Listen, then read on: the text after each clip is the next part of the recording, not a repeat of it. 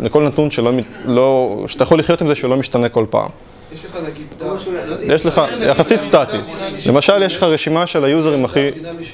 נגיד, יש לך אה, את הטקסט שאתה מביא אותו מבסיס נתונים ואת התמונות ואת הכל, זה דף HTML שמתעדכן פעם בשנה, במקרה הטוב. אז אתה כן. עושה לו רנדר כזה והוא יישאר לך בזה. זה דוגמה מצוינת. דוגמה פחות מצוינת, זה אם יש לך למשל רשימה של היוזרים הכי אקטיביים בפורום, אוקיי? זה משהו שהוא יחסית כבד מבחינת הדאטאבייס. אתה צריך לבדוק כל ה users, את האקטיביות שלהם, לספור אותם, זה כבד. אתה לא רוצה להריץ את זה כל פעם כשמישהו נכנס לעמוד שיש בו את הנתון הזה. אם זה משתנה, תכין חדש, אם לא... גם אם זה משתנה, אז אה, אם ה users שבאים יראו את הנתון הזה מלפני שלוש שעות, לא יקרה כלום. מי מחובר כרגע לזה? גם מי מחובר כרגע? לא, גם מי מחובר. חמש דקות. חמש אתה דקות. לא יודע. אתה לא- תלוי, זה יפה, תלוי מה אתה כאילו, נכון. חמש- חמש דקות יש לך. אתה יכול אפילו לתת... האמת היא שדברים כמו מי מחובר כרגע, או היוזרים הכי אקטיביים, הייתי עושה בצורה קצת אחרת, הייתי לוקח אה, משהו שהוא server side שרץ פעם ב- ומעדכן את הקובץ. ברור. אתה יכול- יכול- אתה יכול לתת לו live של חמש דקות, ואם הוא לא live, תעשה request מחדש. נכון, זה גם... אתה יכול פשוט ל- לעשות... לא הייתי עושה את השיטות האלו מה... אתה יכול לשים את זה בתוך, בתוך טבלה, כאילו לא להריץ cron job פעם ב... לשים את זה בתוך טבלה בצד בדאטאבייס ולקרוא משם, ואז לשים את זה בתוך HTML cache. זהו, מה, מה יותר אה, יעיל, לעשות את זה שכאילו אתה עשית כאן בקובץ אה, PHP שייכנס, יבדוק את העניין, אם זה, יש איזה מרווח של חמש דקות, ואז אה, יציג את זה מחדש, אבל אם אני עושה את זה ב cron, כאילו, מה, מה יותר יעיל? זה תלוי, זה... הרבה פעמים זה תלוי במק- במקרה. בדרך כלל השילוב, אתה יכול גם שאדם יעשה איזה נישה, זאת אומרת, אדם נכנס, בודק עם הפג, פג תוקף, הוא עושה את הקריאה, מחדש את הרשימה, ואז אז ה cron, אתה מוותר על ה cron בעצם. נכון. אתה יכול לעשות את זה, אבל אז אתה- של, אה, אבל אז אתה אומר ל user הראשון בעצם, זה- חכה, או תרפרש עוד שתי דקות. כן, תלוי בשאילתה, תלוי זה בשאילתה, אם זה cron, אם זה שאילתה שאתה יודע, טוב, אה, שנייה אתה כבר מצליח לארגן את הרשימה, תן ל user הראשון שיעשה, אתה חוסך, בתוך, אוקיי, אם יש לך אלף users שניגשים ביחד וזה לוקח שנייה, מרגישים את זה, אבל אם אדם אחד, שנייה, שנייה יכול לחכות. נכון. שזה שנייה, אבל להגיד משהו כמו אה, אה, האנשים שהכי פעילים בפורומים, כשהפורום הוא בז... אז אה, לא. זה הכל תשובות, נכון. זהו, זה הכל תלוי ב... חליפה. הכל תלוי במ- במה שאתה מנסה לי לעשות.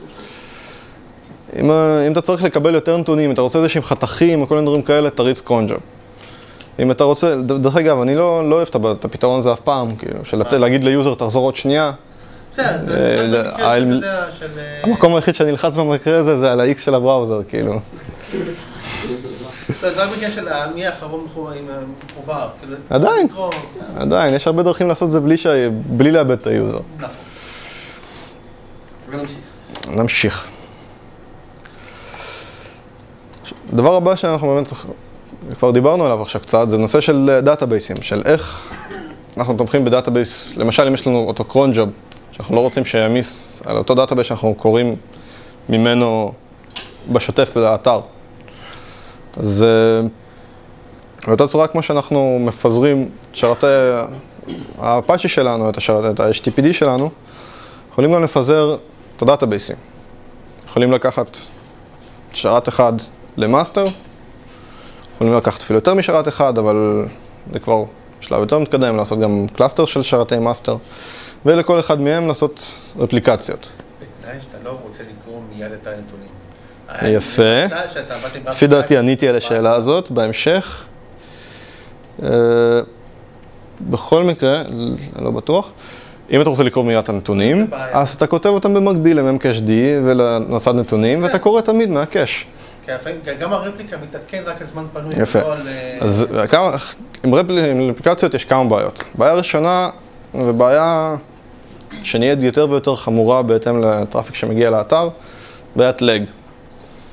כל request שאתם כותבים מגיע ל master, וה master בזמנו החופשי, מתי שבא לו, מעביר את זה, ובאיטיות ובכיף ל replications. זאת אומרת שזה קורה פעם ב... אה, אם ה master שלך פנוי, ככל שהעומס מתחיל לגדול, הפעם ב... מתחיל... השיא זמן. השיא שאני ראיתי בחיים שלי זה lag של 11 דקות. זה המון. אוקיי. אצלכם בבית? אצלנו, כן. באחד מ... בלובים או... אה? או משהו קטן? איזה נתונים כאילו? זה, לפי דעתי זה בטבלאות של אה, אייטמים, של, נתונים- של סטטיסטיקה על אייטמים. יש שם הרבה נתונים. להם כאילו לפעמים. מה זה? בדיג יש להם כאילו דברים, אז שאתה מצביע או נותן תגובה, זה רק אחרי איזה חצי שעה נכנס בכלל שם. בדיג? זה בגלל אה, אפליקציה דבר. מה זה, מה זה?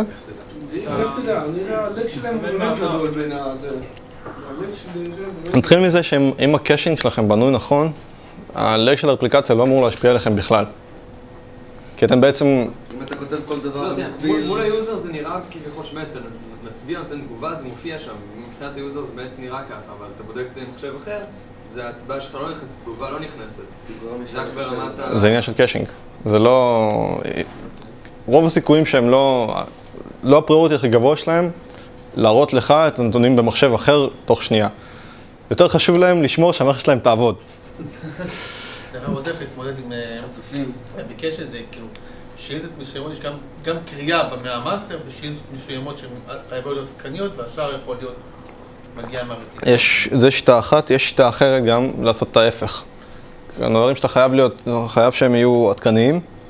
אתה יכול אה, לפנות לרפליקציה, כאילו, במקום לשים לואוד בלנסר לפני הרפליקציות, לעשות איזשהו קוד של אה, כיוון בתוך הקוד שלך, ולכוון לאותה רפליקציה. עכשיו, מה שאתה יכול לעשות זה לעשות את הכתיבה לשניהם במקביל. ואז יש לך רפליקציה אחת כבר מעודכנת, ואתה חייב לעשות ב-SQL של- ששלחת ל master גם ה-ignore. ויש לך רפליקציה אחת מעודכנת, master מעודכן, הרפליקציה שממנה אתה קורא כבר מעודכנת כי כתבת גם אליה, שאר רפליקציות לא מעודכנות, אבל זה יגיע אליהם מה master באיזשהו שלב. אני עדיין חושב שהרבה יותר יעיל לכתוב את זה לתוך memcached.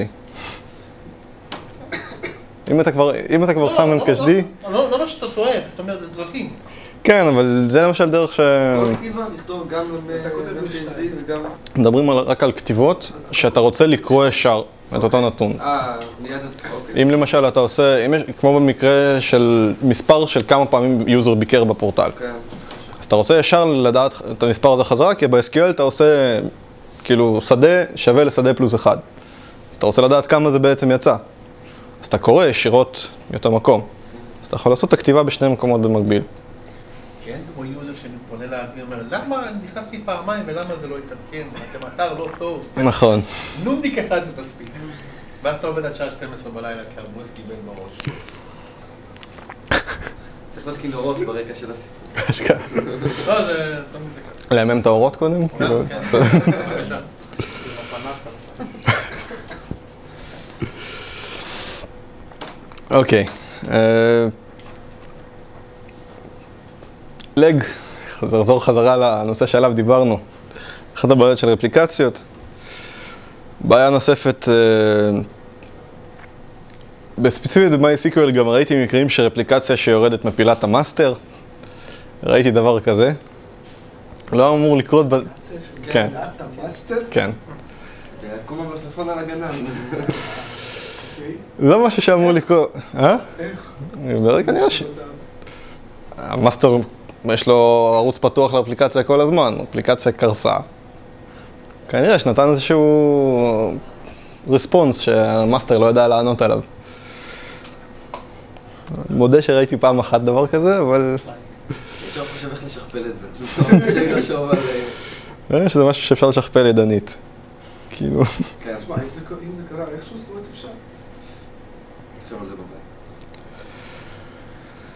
טוב, אה, בכל מקרה פתרון למסדי נתונים זה באמת גדילה אופקית, באותה צורה, מאסטר אחד, הרבה אפליקציות, תלוי בכוח של ה master. גם לו יש איזושהי הגבלת אה, גדילה, אז משם אפשר לגדול גם או ל- ל- לקבוע כמה מאסטרים לנושאים שונים, למשל אם יש לכם comments עם traffic מטורף, ועוד איזשהו database של אה, פריטים בחנות, אז אתם מגדירים את זה בפיזית בדאטאבייסים שונים, טבלאות. כן, עם זה גם יש לכם בעיה גדולה באמת, כי הרבה פעמים אתם רוצים לעשות ג'וינים בין טבלאות וחיבורים ולהוציא נתונים, אז אתם צריכים להוציא את זה